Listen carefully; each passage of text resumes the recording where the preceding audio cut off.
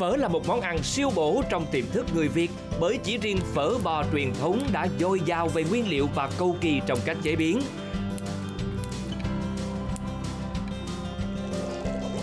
Quan trọng nhất vẫn là khâu nấu nước dùng, yếu tố quyết định của món ăn. Nước dùng phở thơm ngon, nhất thiết phải có vị ngọt đặc trưng từ xương bò ninh qua đêm. Tiếp đó là hương thơm hòa quyện từ những loại gia vị đặc trưng như hành nướng, gừng nướng, quế, hoa hồi, thảo quả.